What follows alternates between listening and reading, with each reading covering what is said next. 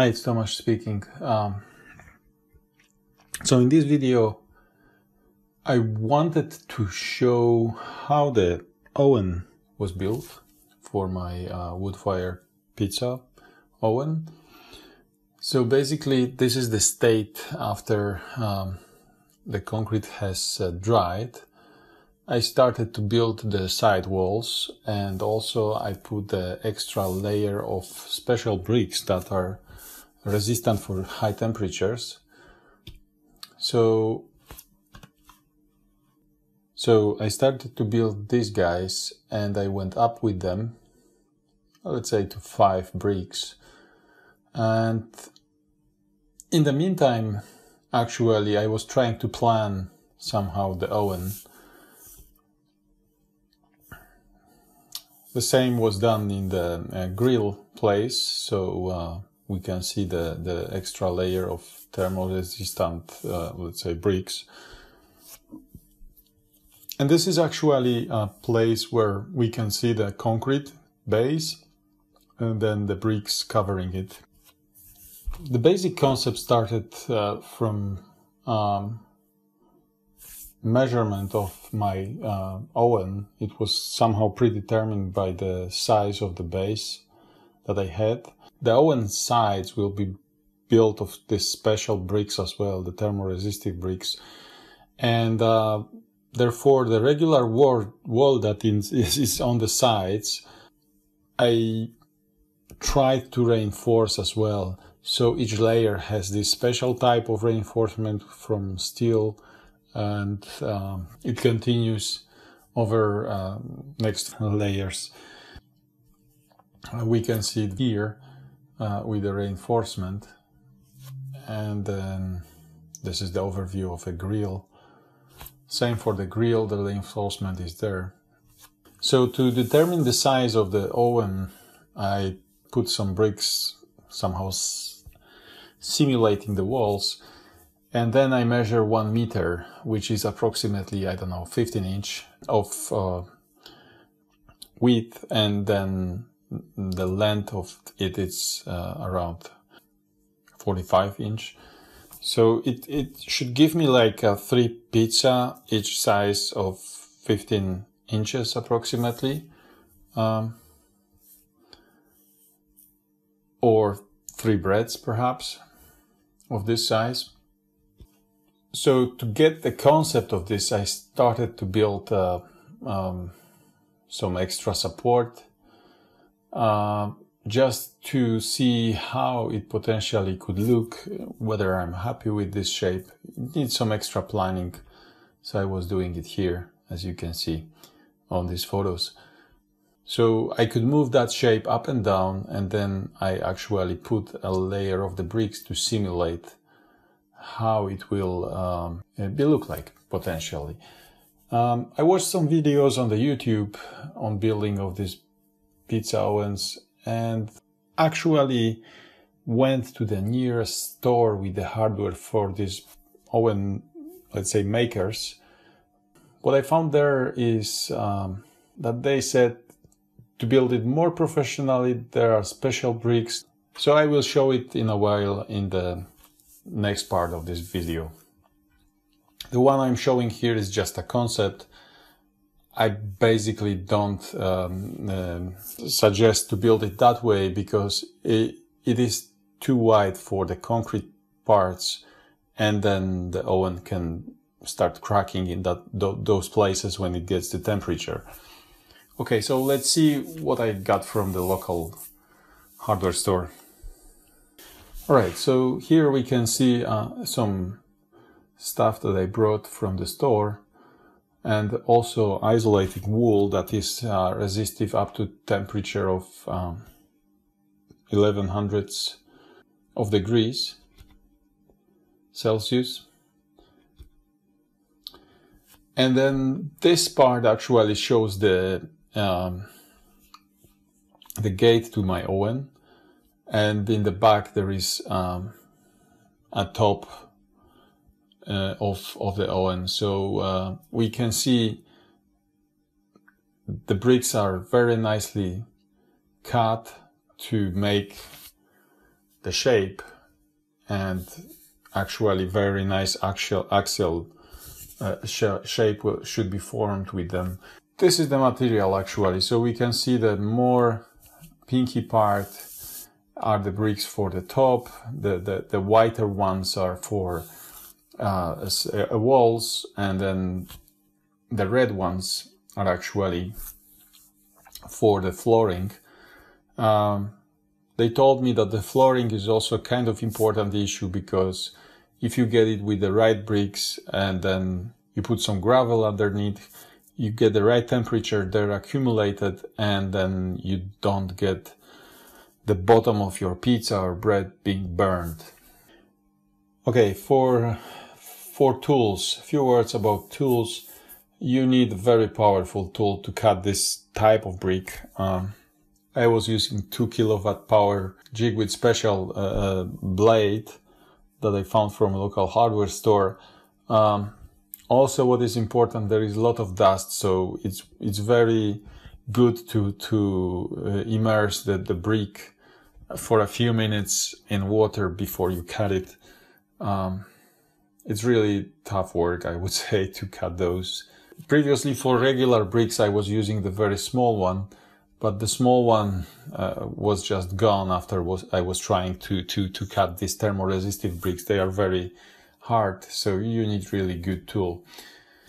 Uh, I, I, highly recommend to get something to cover your uh, uh nose and uh, mouth to prevent uh, getting that dust into your uh, lungs. Uh, also, ice is something important usually. So to, to, to limit the number of dust coming into ice, it's, it's, it's good to have a cover.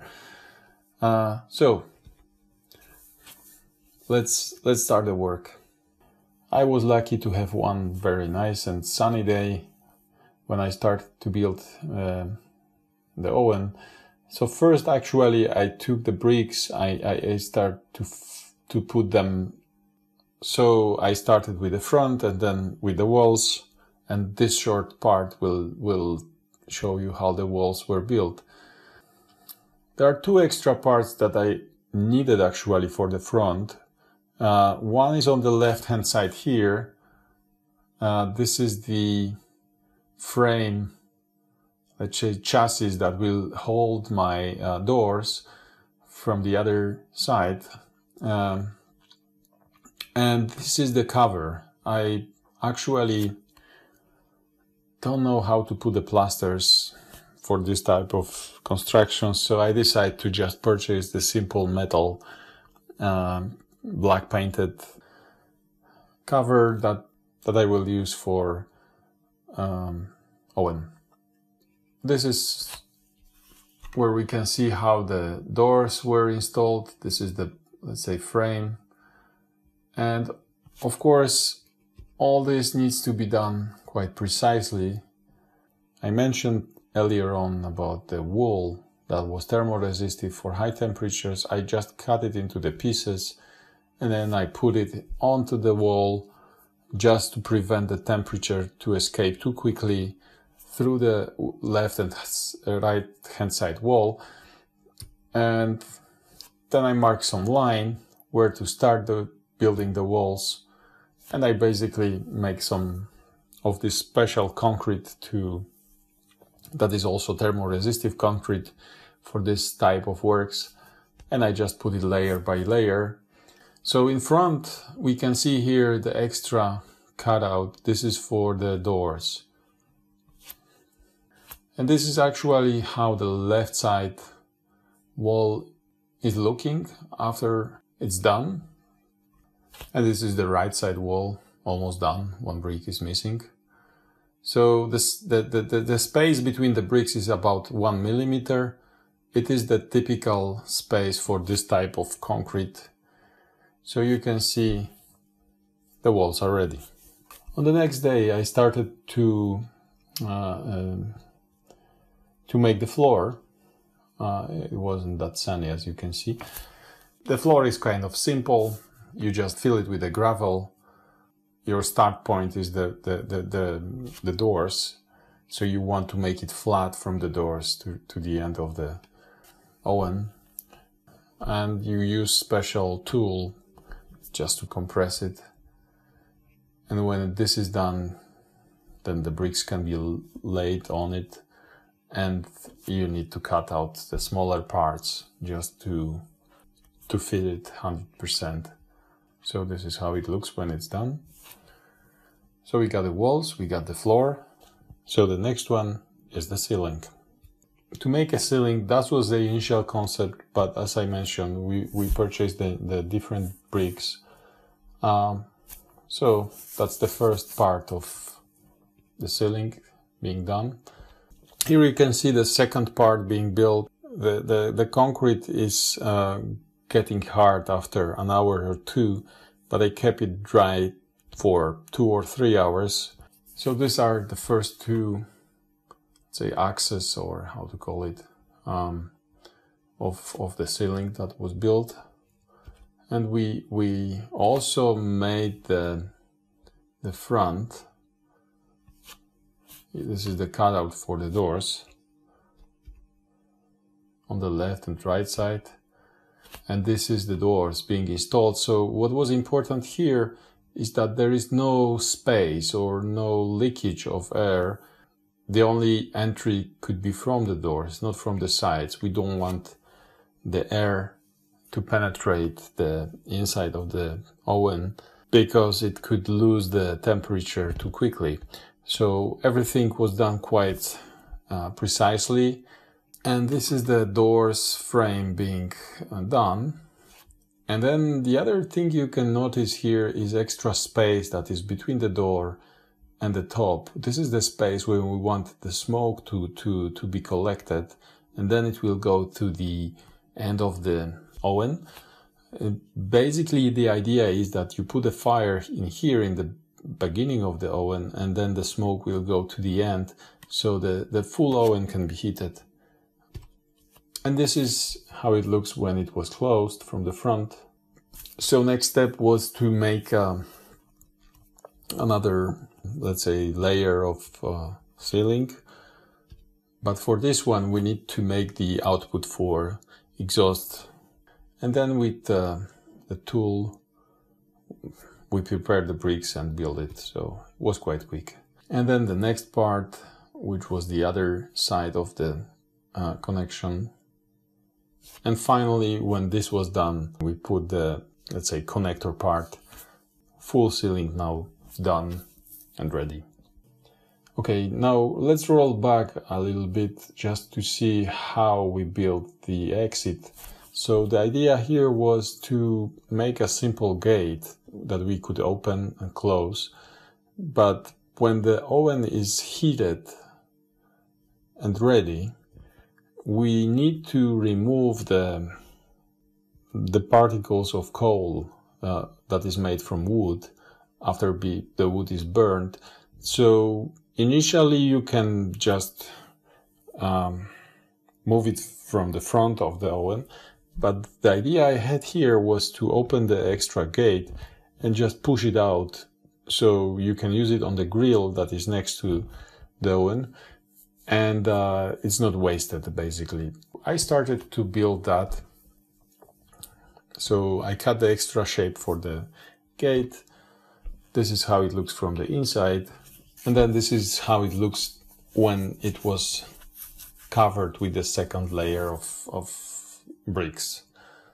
We can open and close it just by pulling this part here but we can see that the escape of the heat from the oven is really limited. Uh, of course, to operate it, we need some extra mechanisms here um, because it will be quite hot during operation. So we, we, we can just put the hand inside. So let's see how the oven looks like after it's done.